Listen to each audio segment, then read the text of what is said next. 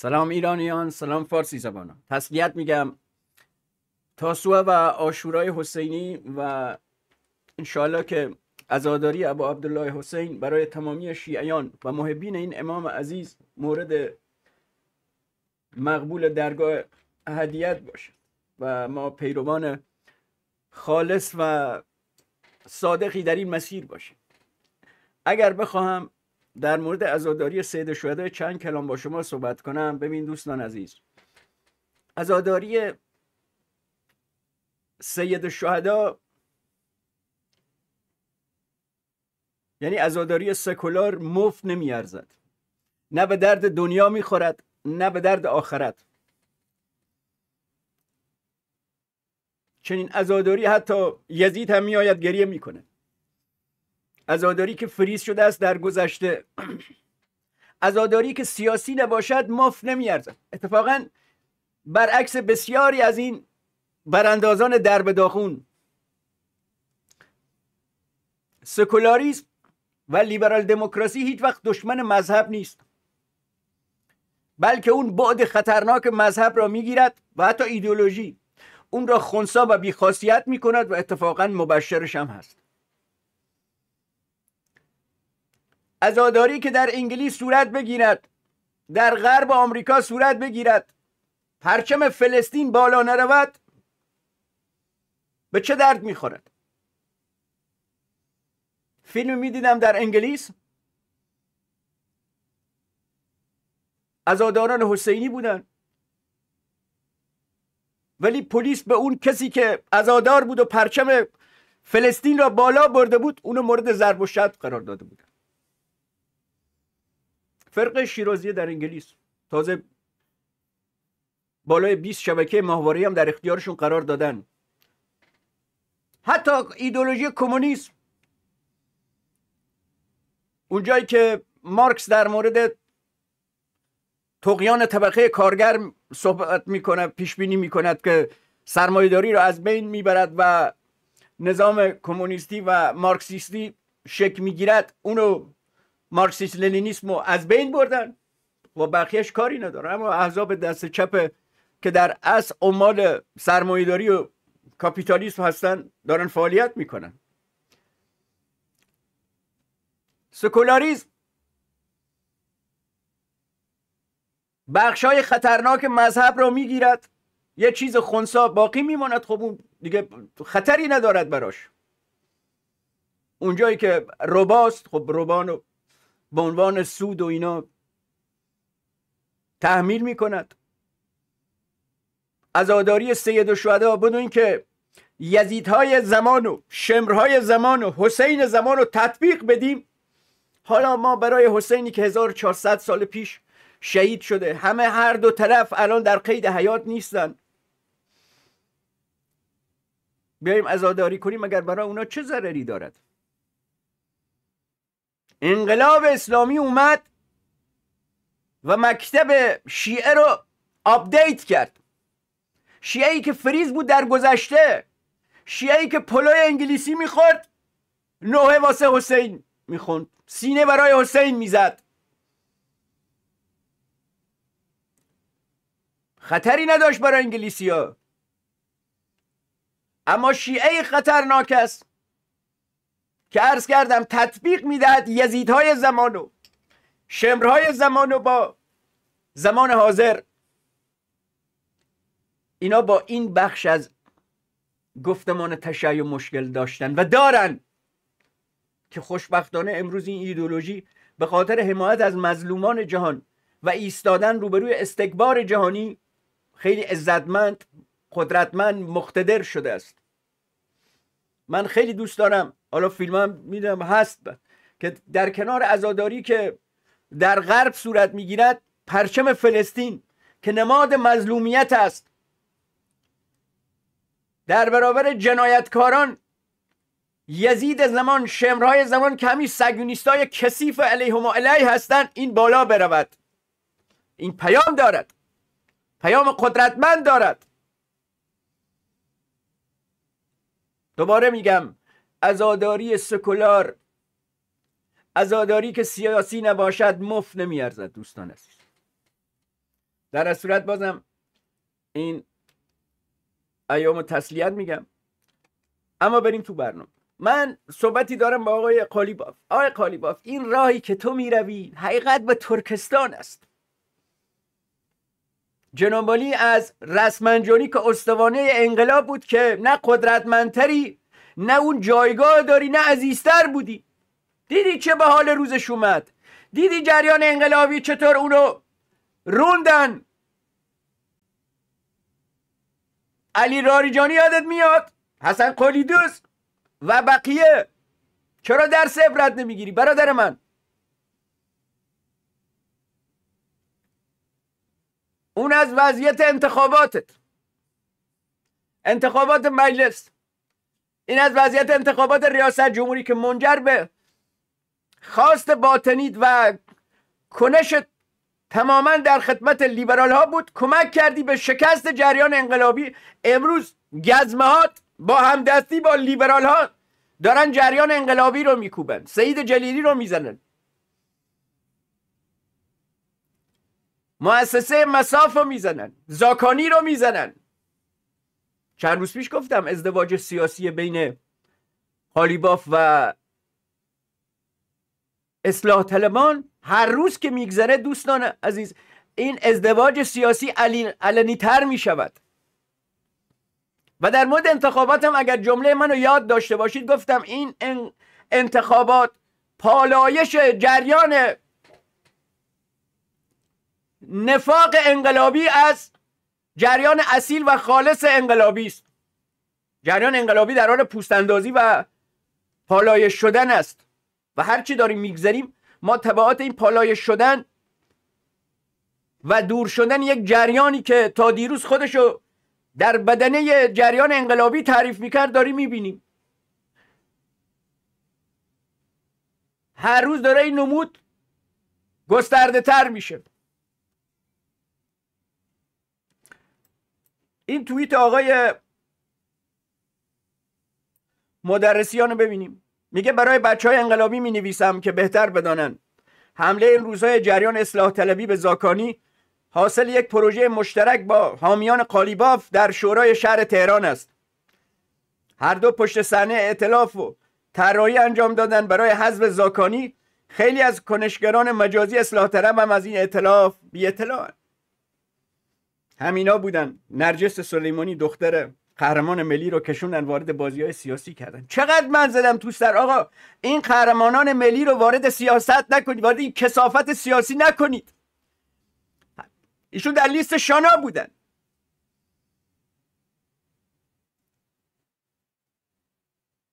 وارد بازی های سیاسیش کردن و هر روز با موازه متناقض متضاد. خب این که یک بالاخره شخصیت مستقل نداره. همه ایشون نرجس سلیمانی فرزند حاج قاسم سلیمانی شهید ارزنده ما می‌شناسن دیگه.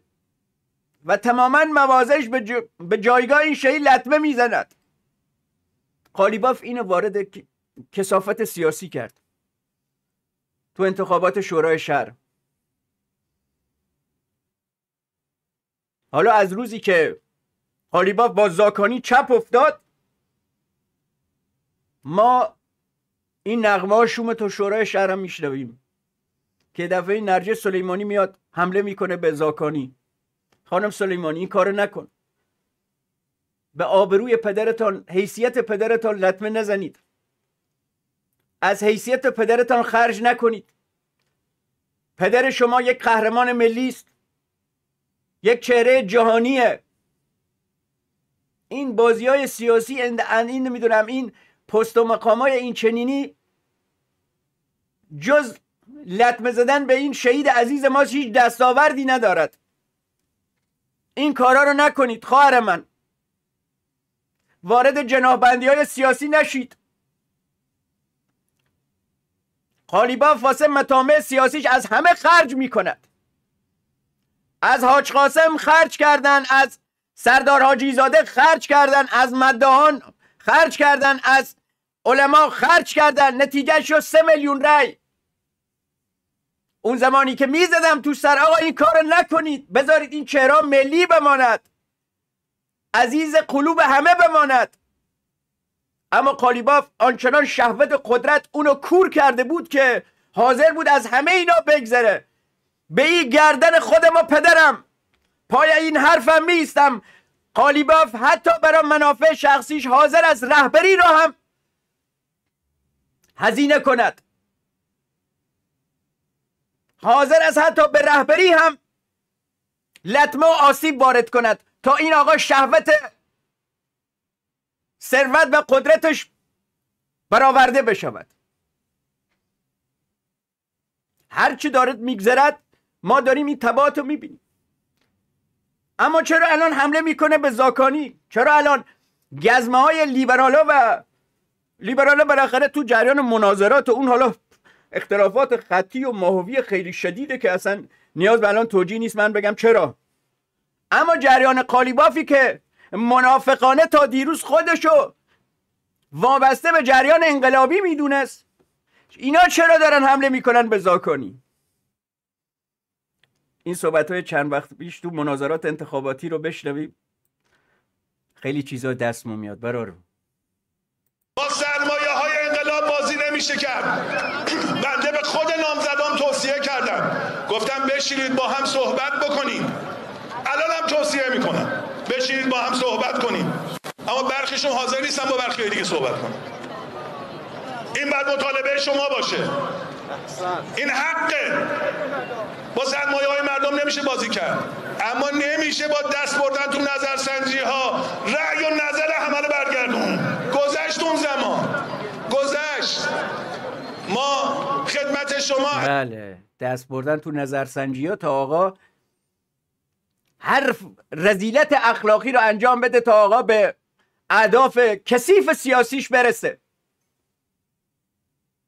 بعد مشتی طلبکار نوچو مزدور و پاکت بگیرش بیان. خاک بپاشونن تو چشم ملت که آی اگر قالیباف میرد دور دوم حتما پیروز می‌شد. با وقاحت با گستاخی.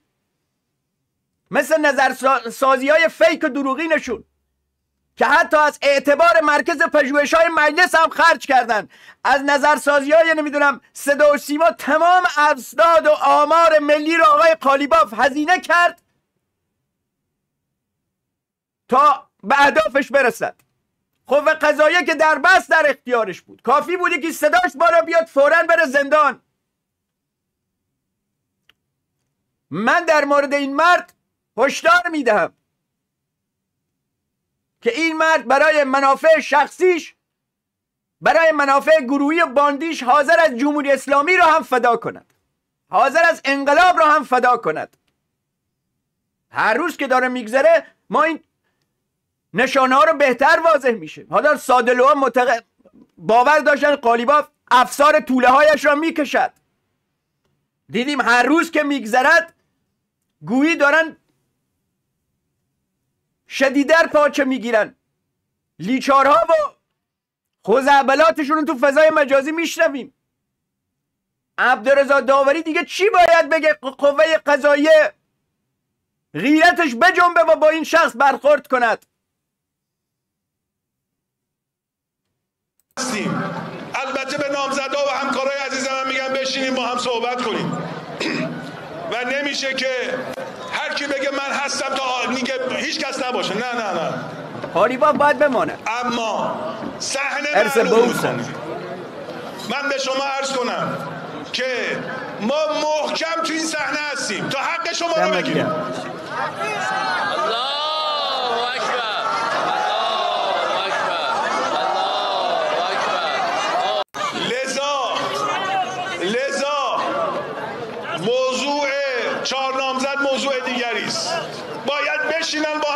صحبت کنن باید بشینن با هم صحبت کنن. نتیجه رو هم دیدیم. طرف اینقدر گستاخ اینقدر عرض می‌کنم حاضرت آتیش به همه منافع ملی مساله نمی‌دونم آمار به همه چیزا بزند تا خودش در قدرت بماند. و دیدیم چه سیلی آبداری. هم از انت- در انتخابات مجلس از مردم خورد. هم در ریاست جمهوری همه اهن و طلوب کردنتون سه میلیون رفت. آی قالیباف مردم دوستت ندارن. مردم نگاه می‌کنن حالشون به هم می‌خوره. حتی بنده ای که زمانی برانداز بودم از تو متنفر بودم. خوشم ازت نمیومد چون تو رو فردی دروغگو و سالوس و منافق می‌دیدم. و متاسفانه در این نگاه هم دوچار خطا نشدم و گذر زمان ثابت کرد که نظر من درست بوده. اون چیزی که پیش خودم اندیشه بوده اندیشیده بودم الان نگاه می‌کنم درست بوده. تا کی می‌خوای خود قالب کنی بر مردم؟ تا کی می‌خوای؟ نمی‌دونم. از اون کاری حالا چند وقت ز... نمی‌دونم تو جبه ها بودی همچنان بخوری و روی گرده مردم سوار بشی. کدوم یک از شهدای ما؟ کدوم یک از دلاوران ما در جنگ اینقدر طلبکار بودن. اگر تو خودت فرد مؤمن و انقلابی و در راه خدا رفتی نمی‌دونم چهار روز تو نمی‌دونم جنگ بودی. بقیه هم بودن چرا بقیه مثل تو طلبکار نیستن؟ حاج قاسم هم رفته بود. تا روز آخر با افتخار می‌گفت من یک سربازم. و سربازم باقی میمونم. تو طلب چی رو از ما می‌خوای آقای خالیباف؟ دوازده سیزده سال شهرداری تهران هاپولی. هاپو کردی بس نیست؟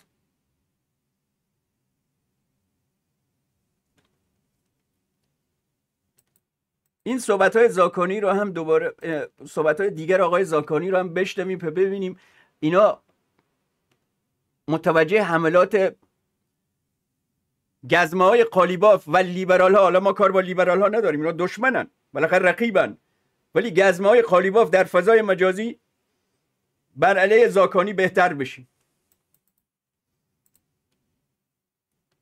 ما وقتی اومدیم شهران شهرداری تهران شهردار عزیز قبلی صراحتا تو تلویزیون مصاحبه کرد گفتش که من نمی‌تونم کار کنم. گفتن تو چرا نمی‌تونی کار کنی؟ گفت من بیش از پنجاه هزار میلیارد بدهی دارم از شهردار ما قبلا. ما که اومدیم سال 1401 ده هزار میلیارد دادیم بانک ها ما رو قفلمون نکنن. یک. سال گذشته اومدیم رفتیم پای حساب کتاب. دیدیم بانک ها میگن شما 170 هزار میلیارد بدهی دارید نه 50 هزار. از زمان قالیباف. آقای سال نمادمال 83 84 88 90 91 و 93 6 تا وام از ما گرفتید بر نگردوندید زمان آقای قالیباف میگه. این پولا کجا رفته؟ صرف همین تیم رسانه‌ای و این مافیایی که دوروبر خودش کرده صرف اینا شده دیگه. که امروز دارن حمله می‌کنن به هر چی مقدسات به هر به همه افراد. نظام و کشور با قالیباف دارن میسنجن. قالیباف رفت روسیه. خب روسیه چیکار؟ دیدی قالیباف با هواپیما رفت. قالیباف چند سال پشت هواپیما ننشسته. این قانون میگه باید حداقل در دو سال نباید این فاصله دو سال بیفتد.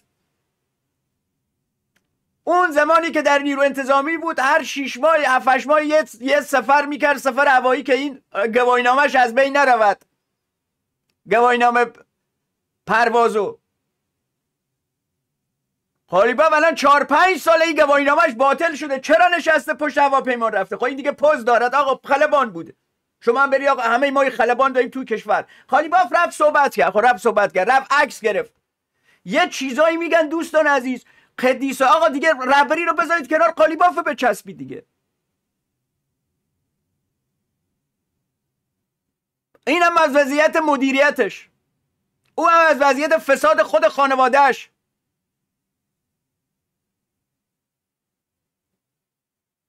کی قراره آقا کشور و اعتقادات مردم و امثال قالیباف به سخره بگیرن و گند بزنن تو همه چیز؟ خب قضایی هم نداریم به این جرام و به این مثال خود رسیدگی کنه خب هیچ. امثال یاشار سلطانی و اشتری و اینا حالا ما خوشمون از این دوتا هم نمیاد. ولی همینا به خاطر افساد افشای فساد این آقا و دور بریاش امروز زندانن. در کوران انتخابات. همه چیز در کشور ما گویی با قالیباف داره تنظیم میشه. قالیباف همه چی رو تنظیم می‌کند.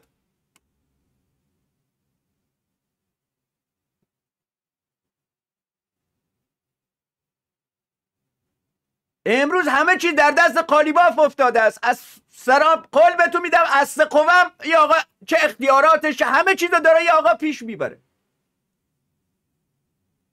بله. هفتاد هزار میلیارد تومن وامایی که آقای قالیباف گرفته در 82 به بعد کجا رفته این پولا رو؟ آقای قالیباف اینا رو توضیح بده. توضیح میده؟ آقای قالیباف پسر تو چرا درخواست اقامت در کانادا رو داد؟ اسلام کانادایی؟ کانادایی بدشون میاد از اسلام کانادایی؟ آمریکایی از اسلام کانادایی؟ اسلام آمریکایی بدشون میاد؟ اسلام پول اسلام اشرافیت؟ قالیباف دنبال دقیقا دنبال رو در ما تحت رسمنجانی بود. و هیچ شما هیچ سخنرانی از آقای قالیباف پیدا نمی کنید که کوچکترین انتقادی از رسمنجانی کرده باشه. همیشه مت ستایش ایشون بوده. یه ماکیاولیست به تمام معنا. ببین مثلا گزمهاش تو فضای مجازی چی میگن دوستان؟ یکیشون اسمش حامد عادل. حالا اسم فیک اسم اکانتی. خدا عالم است. ولی گویا در تیم رسانه مجلس هم چند ماهی بوده. حالا دارن می‌زنن زیرش ولی بوده. خودشون اعتراف کردن. عکس داره با قالیباف. ببین در مورد آقای جلیلی چی می‌گوید؟ آقای مدیر عموم اگر بمیری رواست خدا وکیلی. اگر از این حجم از بیغیرتی بمیری سزاوار است. کر شدی آقای مدعی العموم. پس چرا خفه خون گرفتی در مقابل این همه فهاشی و تهمت و لیچار و کسافتی که دوی فضای مجازی است؟ آش اینقدر شور شده که آذری جهرومی به معروف می‌کنه به نوچه قالیباف. دیگه ببینید چه آش شور شده.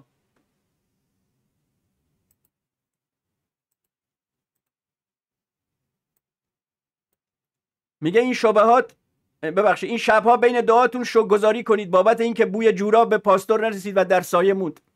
بوی جوراب سی جلیلی رو میگه. وجدانا لیبرال ها اسرائیلیا آمریکایی‌ها همچین جسارتی به سی جلیلی کردن که نوچگان و مزدوران قالیباف از همه تیفا فقط این شخصی چقدر من بیارم توییت نشون شما بدم؟ از اطرافیان قالیباف که امروز دارن فهاشی می‌کنن به سعید جلیلی به زاکانی به خواستار انحلال مساف شدن. و بازداشت رائفی پور و یه اتحاد و ازدواجشون با لیبرال هم هر روز داره خب بیشتر تو چش چال میاد. این پروژه مشترک. بعد آذری جرومی هم جواب شده داده. جسارتا اما سعید جلیلی جانباز وطن است. ممکنه به برخی اندیشه و بسیاری از اطرافیانش انتقاداتی مطرح باشد. همان گونه که آنها هم به امثال ما همین دیدگاه را دارند. اما خطاب کردن این چنینی در شعن او و همچنین شما نیست. هشتگ نی از منکر. آقای مدل عموم کجایی تو؟ آقای دادستان تهران. شما الان کجایی دقیقا؟ هستتون؟ سر کارید مرخصید کجایی دقیقا؟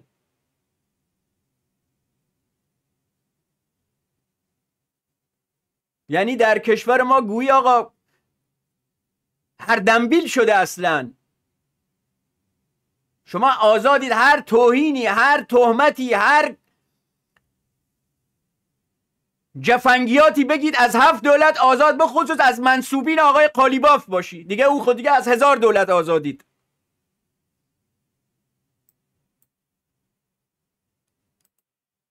یا اینجا این گمال چی میگه؟ بله.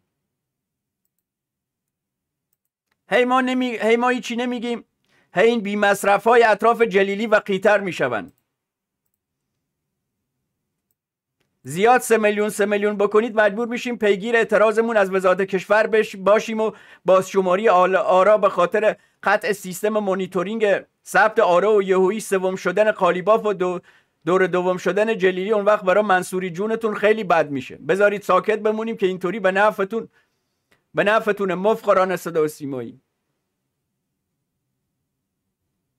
خاک بر سرت قوه قضایی خاک بر سرت شورای نگهبان. رسما. و خاک بر سرت وزارت کشور. شمایی که انتخابات رو چیز کردید؟ که یه الدنگ یه زیرمشکلون دو پیلی بیاد شما رو این چنین بی آبرو کند.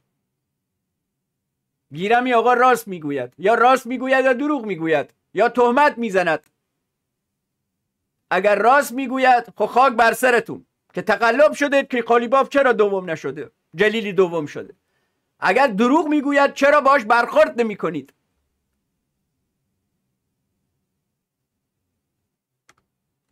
ببینید این شخص رو در کنار قالیباف دوستان. ممکن است بعضی بگن آقا اینا دوره به آقای قالیباف روزینی. به پیغمبر خدا قالیباف کیفوره. اصلا شخصیتش همینه.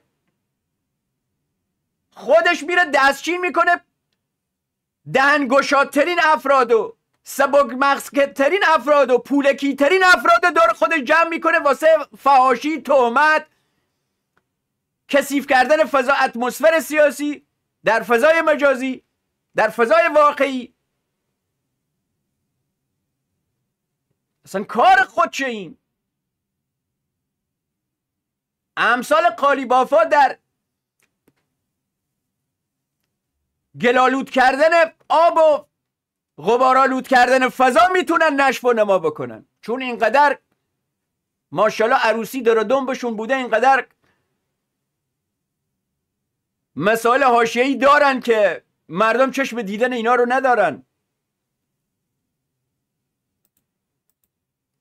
بعد این یزدان پناه یزدی اومده نه این این شخص مثلا چهار ماه با ما بوده خب این شخص چهار ماه با شما بوده بعد الان سی خوش کار می‌کنه. الان مزن للا داره کار می‌کنه سی خالی باف. بقیه افراد چطور؟ عبدالرضا داوری چطور؟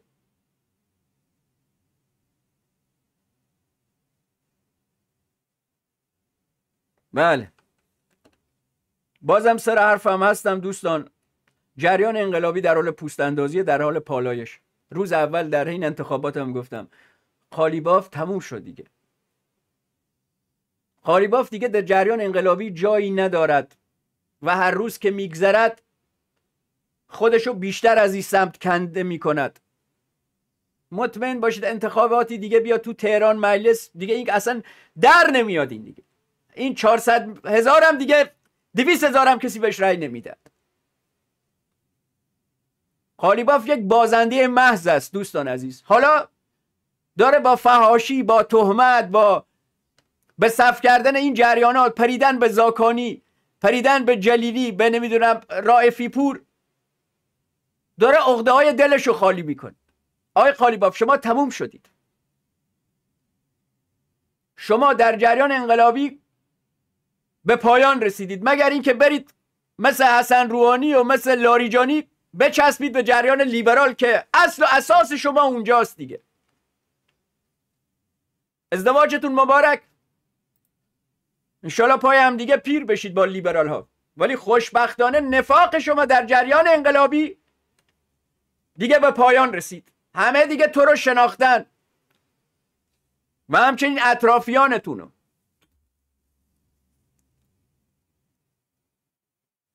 بله.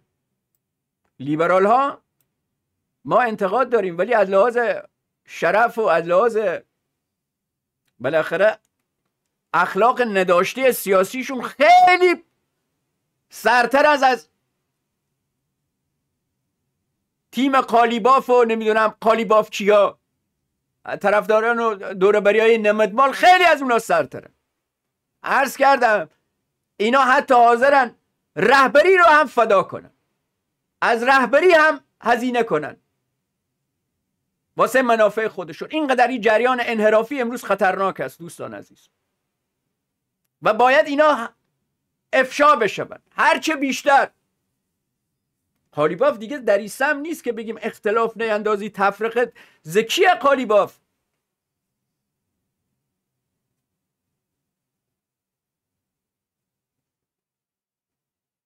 و خوشحالم هر چیزی که در روز از روز اول در مورد قالیباف گفتم همه به واقعیت پیوست.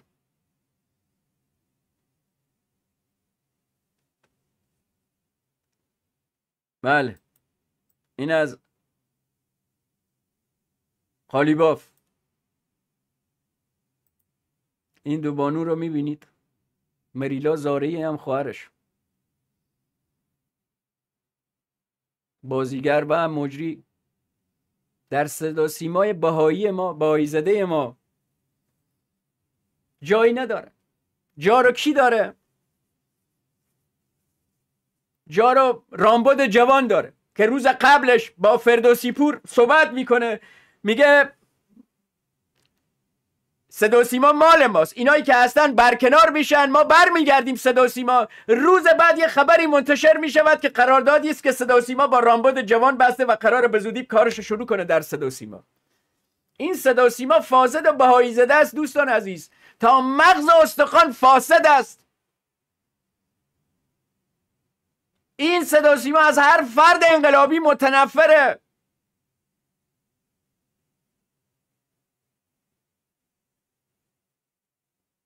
امثال خانم مریلا زارعی و این دو خواهر جایی ندارن در صدا سیمایی که در دست جریان غربگراست و اون فرقه زاله که متاسفانه بعد انقلاب اینا تطهیر نشدن و فقط این چند رئیس رؤسا رو عوض کردن اینا رو حفظ کردن. خط مش سیاسی در صدا و سیما رو کاملا اینا در دست دارن. و دقیقا به کسانی اینا اقبال دارن. که لگدی به نظام بزند لگدی به مقدسات بزند. محبوب می‌شوند. سری بهشون پست و مقام میدن. سری بهشون نمی‌دونم سریال میدن برنامه میدن باج میدن. آقا چرا در کشور ما بی ارزش ها ارزشدار شدن ارزشدارا بی ارزش شدن؟ چرا در کشور ما فروی فرومایگان عزت یافتن؟ آدم های بزرگ آدم های خوب.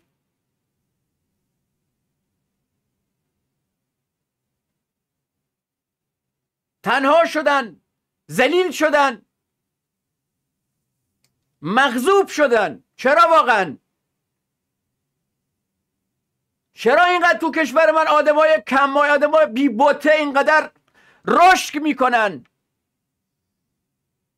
اما اصالت داران رانده می‌شوند.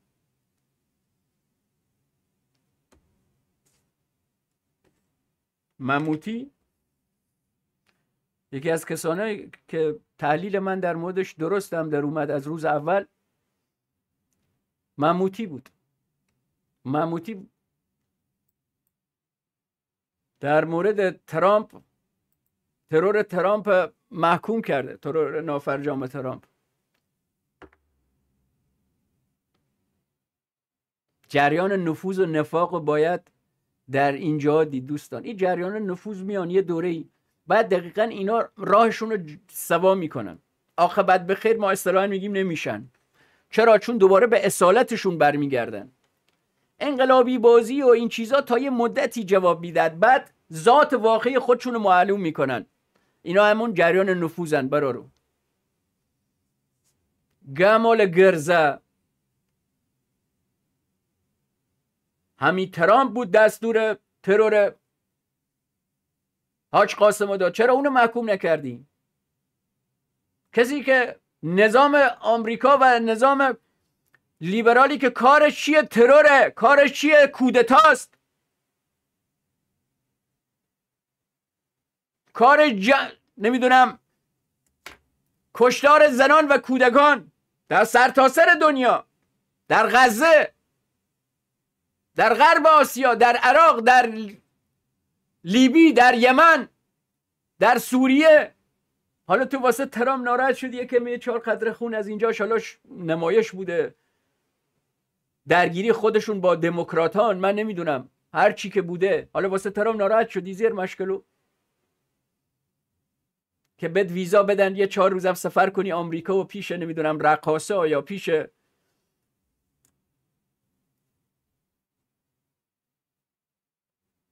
آدمای لخت نونم چی سینه رو بندازن بیرون تو بری عکس پیششون بگیری. خاک بر سرت. گفتم در کشور ما ارزشداران آدمایی که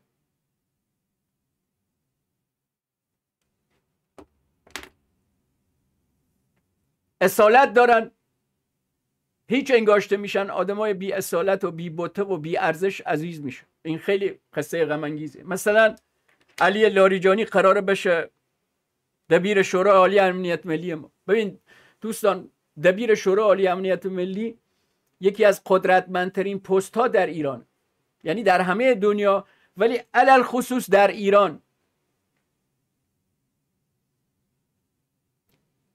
دبیر شورای عالی امنیت ملی می‌تونه تصمیمات خیلی کلان واسه ایران بگیره. دبیرخونه خیلی قدرتمنده. حالا قرار بدنش با آقای لاریجانی تیم لندنیا. لاریجانی که واسه ریاست جمهوری تایید صلاحیت نداره چون موردهای مشکوک داره. پس چرا واسه دبیر شورای عالی امنیت ملی که بالاترین نهاد اطلاعاتی امنیتی در ایران است قرار آقای علی لاریجانی بشود دبیر شورای عالی امنیت ملی؟ من قصد حمله کردن به آقای پزشکیان ندارم. ولی می‌دونم شید رئیسی همین شمخانیه که ما این همه بر علیه صحبت کردیم بیش از دو سال حفظش کرد در پست دبیر شورای عالی امنیت ملی. ولی اینا تا اومدن سری می‌خوان عوض کنن و اتفاقا این جریانات دوستان این جریانات لیبرال که ظاهرا خود توی خاتمی زمانی می‌گفت زنده باد مخالف من به شدت انحصار طلبن به شدت قبیلگران به شدت فرقیان به شدت دیکتاتورن مستبدن. غیر خودشونو هر صدایی رو می‌خوان خفه و خاموش کنن. ذات پلید و کثیف اینا اینطوریه. هرچند به شخص معتقدم جنس آقای پزشکیان با اینا فرق می‌کنه. ولی خب صد افسوس که همچین جک جونورا و توفالهایی دوره برای این شخصن.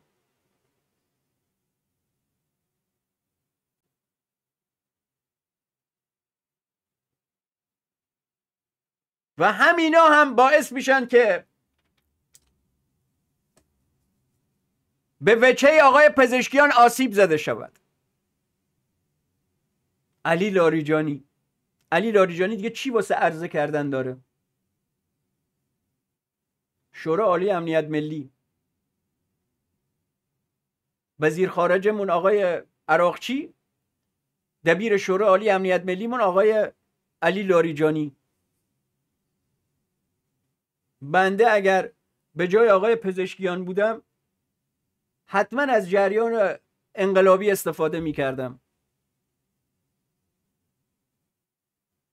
که معمولا اکثر کشورهای دنیا این کارو می‌کنن. من یادم میاد باراک اوباما زمانی که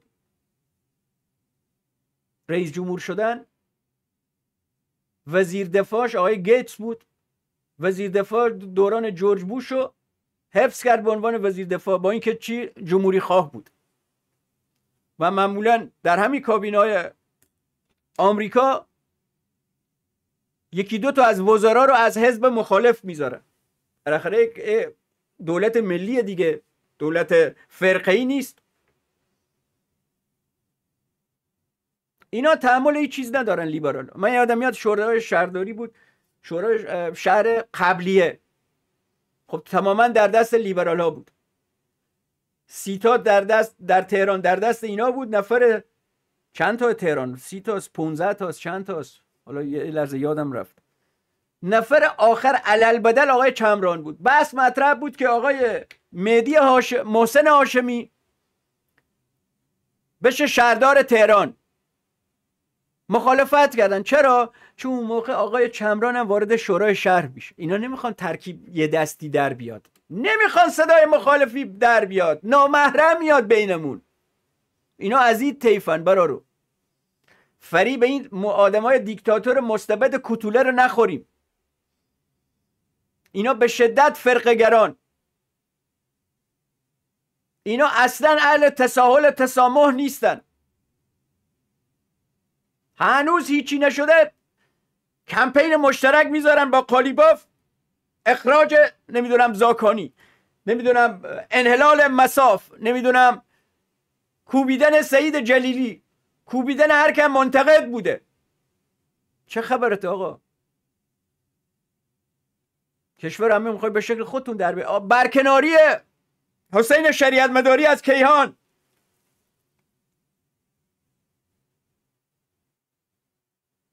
بله روزگار عجیب غریبی داریم پشت سر می‌ذاریم دوستان عزیز. واقعا عجیب غریبه. این فیلم رو ببینیم فرزندان شیخ زگزاگی در نیجریه.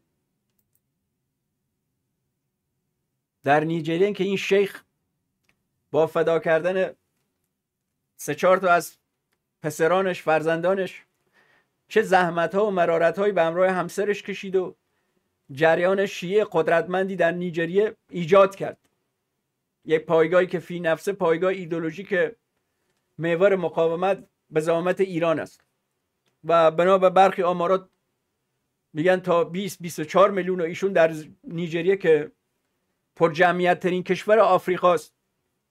قاره آفریقا. بالای 140 50 میلیون جمعیت داره. الان فکر کنم بیشتر هم از اینا باشه. نصف شیعه ببخشید مسلمان است. نصفشون هم مسیحی است. ولی از این جمعیت الان 20 24 میلیون شیعه شدن. هرچند جریان تشیع به شدت در جان در حال گسترش عرض کردم.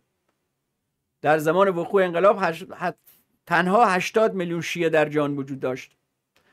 این رقم امروز نه سال 2013 که یک مرکز معتبر در انگلیس اعلام کرد که بیش از 400 میلیون نفر از مردم دنیا شیعن و قطعا بعد از ده سال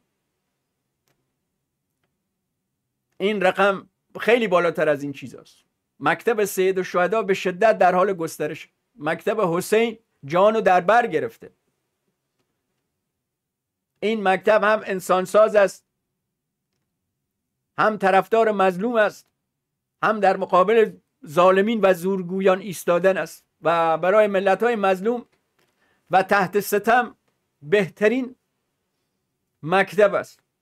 واسه همین می‌بینیم در غرب آسیا در آفریقا در آمریکای لاتین امروز به خیلی محبین امام حسین افزوده شده است. این فیلم رو ببینید در آمریکاست در لس آنجلس در جایی که شهرام شالاتان و براندازان دوپیلی تا کنون نتوانستن 500 نفر بیش از نمی‌دونم 700 800 هزار نمی‌دونم حالا نمی‌دونم دقیقا آمار چند.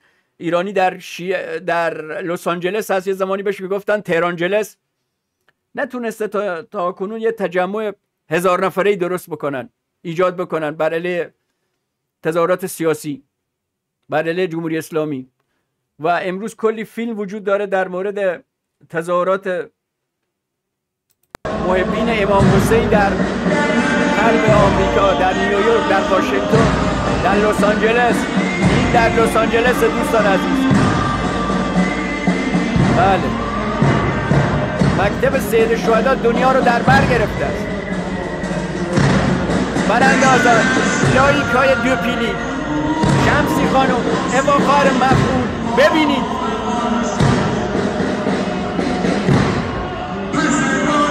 چهار پنج سال پیش همچین چیزایی قابل باور نبود. بله. نکته جالب دوستان حتی در قلب آمریکا در قلب اروپا اونایی که در این مراسم شرکت می‌کنن بانوان مردان تماما لباس مشکی با هجاب هستن. ولی این در به های زن این فاحشگی و اینا در تهران فیلم هایی می‌بینیم که کاملا پوشش آنچنانی در تهران و جای دیگه و متاسفانه هیچ برخوردی هم باشون صورت این هم دیگه قصه ایست پر آب چشم که تکرارش موجب تعلم خاطر می شود این هم از زنگنه نادرست بالاخره بحث های مربوط به زنگنه داغ است. اینا بشنوید در مورد ساخت پالایشگاه. ببین چقدر این طرف شوته همچین کسایی آقای متاسفانه آقای پزشکیان میگن مشاور همچین افرادی دوره بر آقای پزشکیانه. ببین چه می‌گوید. دولت دوم حسن قلی دو زمان این صحبت ها مال زمانه اگه ما می‌خواستیم پالایشگاه بزنیم باید ده تا پالایشگاه 260 هزار بشکه این می‌زدیم آخ ببخشید دوست. اگه ما می‌خواستیم پالایشگاه بزنیم باید ده تا پالایشگاه 260 هزار بشکه این می‌زدیم تا بتوانیم سوخت کشور رو تأمین کنیم تمام کشورم به کسافت و آلودگی بکشونیم. آخ آلودگی آقای اولاند. ماهده پاریس که ترام با تکبا زد پارش کرد خارج شد. آقای ناراحتن. مورد دیگر دوستان عزیز. ما چند پالایشگاه داریم؟ کم ده دوازده تا سیزده تا. پالایشگاه ما نفت خام استفاده می‌کنه. ما آمدیم در پترو پالایشگاه ستاره خلیج فارس. بنزین و نه از نفت خام. بلکه از میعانات گازی ساختیم که اکثرا سوخته می‌شد از بین برده می‌شد. پتروپالایشگاه خلیج فارس از نفت خام بنزین درست نمی کند بلکه از میانات گازی بنزین درست می کند و جالبه بدونید این پتروپالایشگاهی که آقا میگه ده دوازده تا باید می ساختیم تا بنزین کشور رو تهیه کنیم این پالایشگاه به تنهایی روزانه بیش از پنجاه میلیون پنجاه میلیون لیتر بنزین تولید می کند همه او ده دوازده پالایشگاهی که گفتم همشون سر هم پنجاه میلیون لیتر تولید می‌کنه. پتروپالایشگاه خلیج فارس که از نفت خام بنزین تولید نمی کند از میانات گازی که قبلا سوخته می‌شد و نابود می‌شد به تنهایی پنجاه میلیون لیتر تولید می کند یعنی ما بعد از زدن پتروپالایشگاه ستاره خلیج فارس دیگه خودکفا شدیم در بنزین. یه دوره هم در زمان کرونا که بالاخره مسافرت ها کاهش پیدا کرده بود و مصرف ها کم بود حتی مقداری هم صادر می کردیم در کنار این پتروپالایشگاه خلیج فارس کلنگ افتتاح پتروپالایشگاه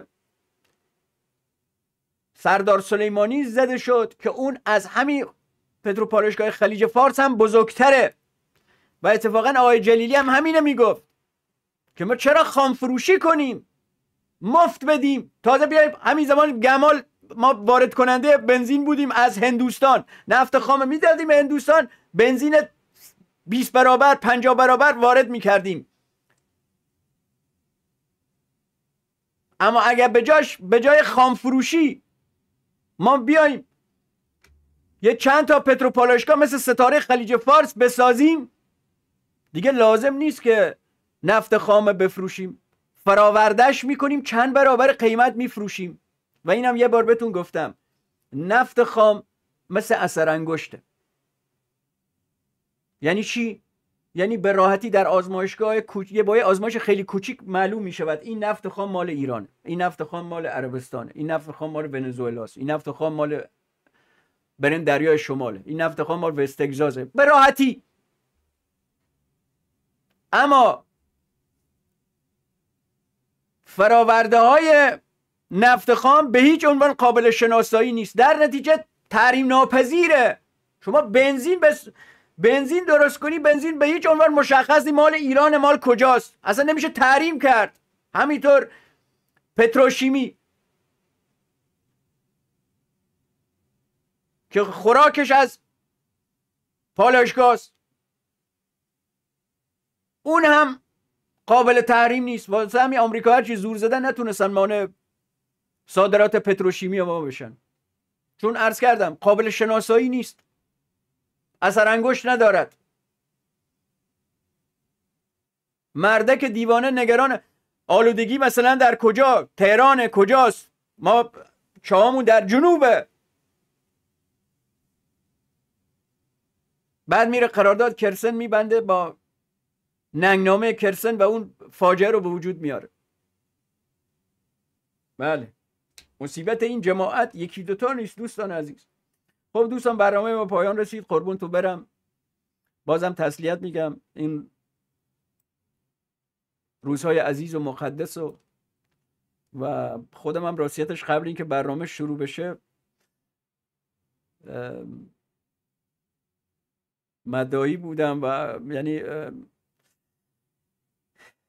تو مجلس بودم و یه مقداری هم صدام گرفته از این بابت عذرخواهی می‌کنم دوستان عزیز. واقعا مکتب سید شهدا دل آدم رقیق می‌کنه.